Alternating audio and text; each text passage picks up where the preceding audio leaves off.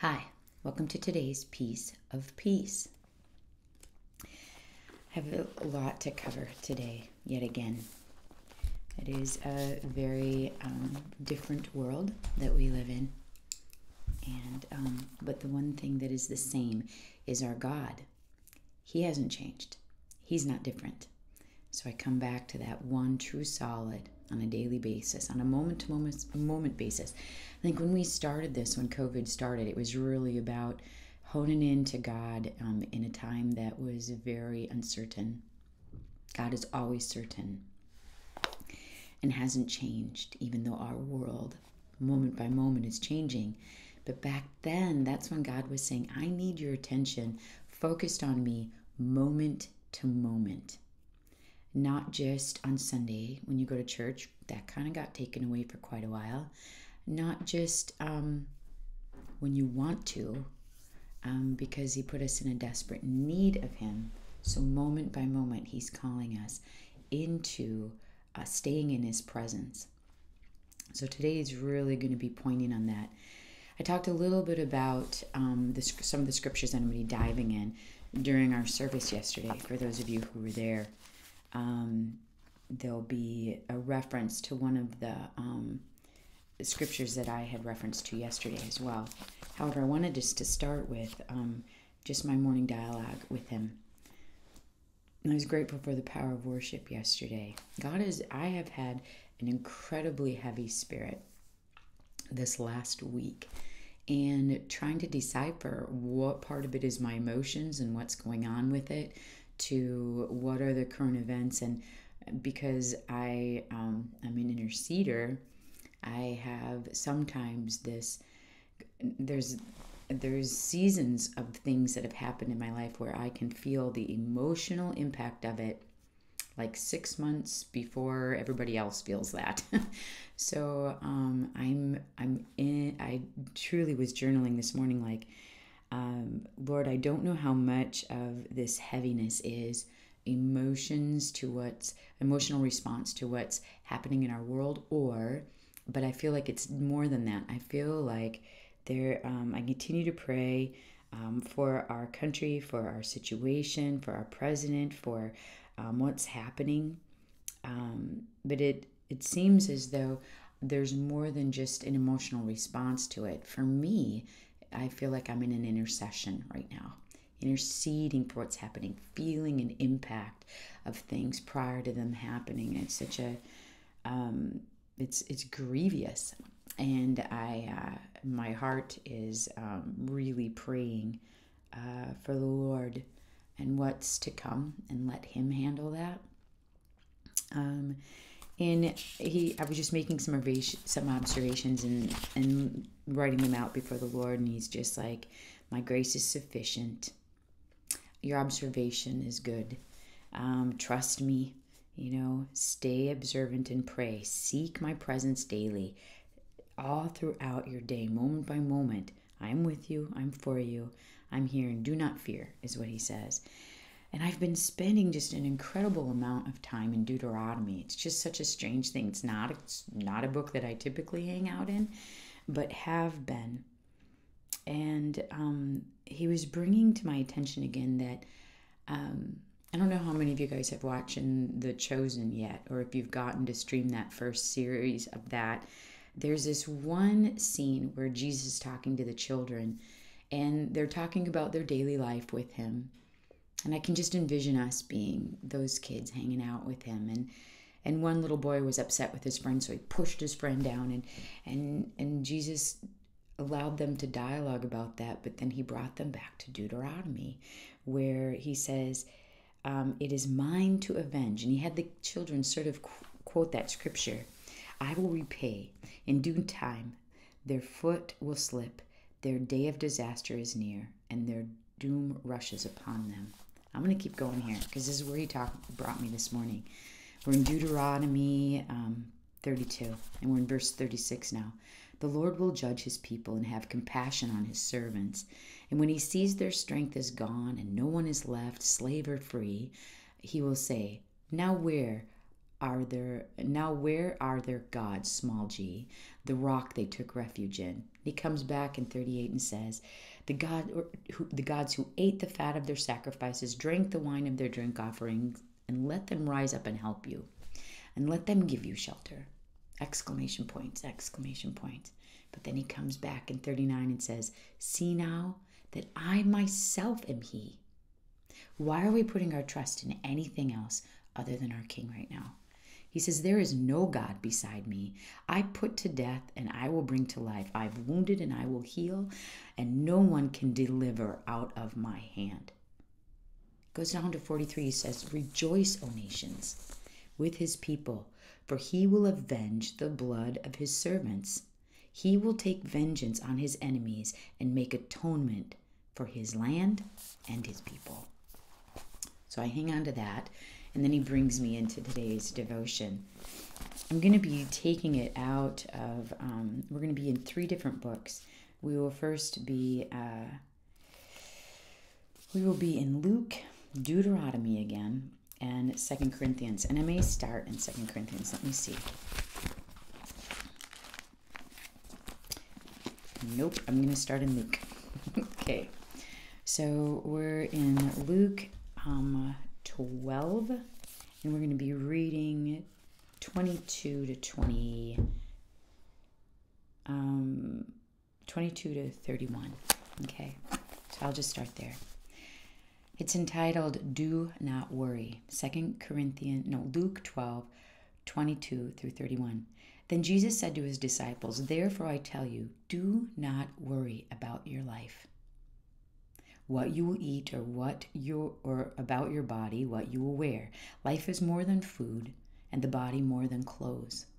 Consider the ravens and they do not sow or reap.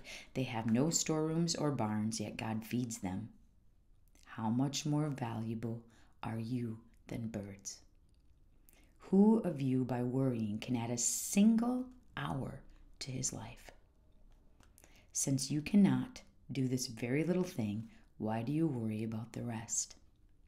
Consider how the lilies grow. They do not labor or spin. Yet I tell you, not even Solomon in all of his splendor was dressed like one of these. If that is how God clothes the grasses of the field, which are here today, and tomorrow is thrown into the fire, how much more will he clothe you, O you of little faith? And do not set your heart on what you will eat or drink. Do not worry about it, for the pagans run after all such things, and your Father knows that you need them. But seek his kingdom. Seek his kingdom, and all things will be given to you as well. And then I'm going to hop over to Deuteronomy, which um, we're going to be in Deuteronomy 31. There's just one verse that stood out with this devotion today. Is Deuteronomy 31 6. So he's telling us not to be worried. Focus on the kingdom. Be there every moment by moment, knowing what his mindset is, speaking only his spoken words. I said earlier, do not allow your fears or your anxiety to speak things into existence. Stop it. Speak only what his mindset is, what his spoken words. Make declarations that are in line with the lordship of Jesus. Make declarations of on earth as it is in heaven. Don't spend time giving power to your fear and your worry. He's like, stop all of that. Focus on me. Everything will be given to you. He brings us into Deuteronomy 31, and here's where he starts giving us a charge. It says, Be strong and courageous. Do not be afraid or terrified because of them, for the Lord your God goes with you. He will never leave you nor forsake you. You have a lot of power if you're created in His image. Your spoken word has a ton. He says, Do not fear. He says, Be strong and courageous. Do not be afraid or terrified because of them. For the Lord your God goes with you, and he will never leave you nor forsake you. And I'm going to jump over now to um, Second Corinthians because he's given us sort of a battle cry here. A battle cry. How do we stand up with what's going on today? Focusing on God, um, not being doormats, uh, not burying our heads in the sand, but we have a very powerful voice because we are made in the image of God and because we're believers and His Spirit lives inside of us. This is super important in this time. I'm going to take you into Second Corinthians, and we're going to be in 10. We're going to go 3 through 5. All right. He says, For though we live in the world, we do not wage war as the world does. The weapons we fight are not the weapons we fight with are not the weapons of the world. On the contrary, they have divine power to demolish strongholds. Hear this again. For though we live in the world, we do not wage war as the world does. The weapons we fight with are not the weapons of the world. On the contrary, they have divine power to demolish strongholds, your thought patterns, your spoken word, and your actions. Your prayers have the power to demolish strongholds. Keep that in the forefront of what you choose to say. Keep that truth in the forefront of what you're going to choose to think about and what you're going to choose to say and what you're going to choose to put your hand to today. You have so much power as a believer in Jesus Christ. I'm going to read this whole thing again. For though we live in the world, we do not wage war as the world does. The weapons we fight with are not the weapons of the world. On the contrary, they have divine power to demolish strongholds. We demolish arguments and every pretension that sets, itself, set, that sets itself up against the knowledge of God. What is reeking of taking away God from everything right now? And this says, on the contrary, they have divine power to demolish strongholds. We demolish arguments and every pretension that sets itself up against the knowledge of God. And we take captive every thought to make it obedient to Christ. This is huge. Your mindset needs to be in agreement with God's. Your spoken word needs to be in agreement with reality on earth as it is in heaven. And that brings us into Jesus calling today. This is a huge charge for us as a as a believer uh, as a kingdom of believers, you guys. This is a huge charge for us. What are we going to be thinking about in these days ahead? How are we going to bring our prayers, our spoken word, our mindset, our actions into agreement with God that they're going to take down strongholds because we're made in the image of the one who created us, who created the universe? This is big. He says to us here, um, I'm reading out of um, Sarah Young's book called Jesus Calling.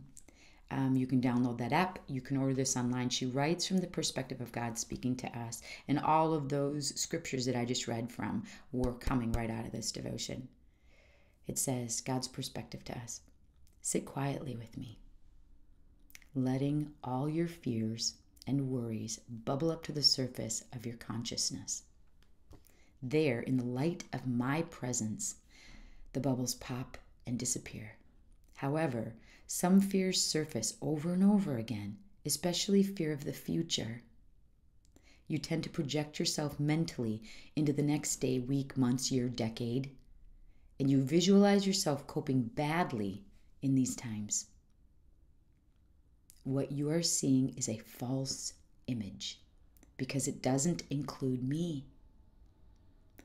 Those gloomy times that you imagine will not come to pass since my presence will be with you at all times. When a future oriented worry assails you, capture it and disarm it by um, sufficing the light of my or suffusing the light of my presence into that mental image. Say to yourself, Jesus will be with me then and there. With his help, I can cope. Then Come home to the present moment where you can enjoy peace in my presence. We have a lot of power. Made in the image of the Holy One of Israel. We have a lot of power, made in the image of God. He spoke creation into existence. Our spoken words brings things into existence. Stop speaking worry. Stop speaking emotions and stop speaking fear. Come in line with God's reality. Stay in His presence so that you can be at peace. Don't go far from Him. Be in His Word. Be in prayer. Put worship music on all throughout your house. That dispels the enemy. You can't stand it. But know you are loved. Know He's with you and He's not leaving or forsaking you and He's going to take care of you. And we're not fighting as men do of the world. We're fighting because we're using on earth as it is in heaven the perspective of God, His mindset, His spoken word, His prayers, His action. And that's today's piece of peace. God bless you.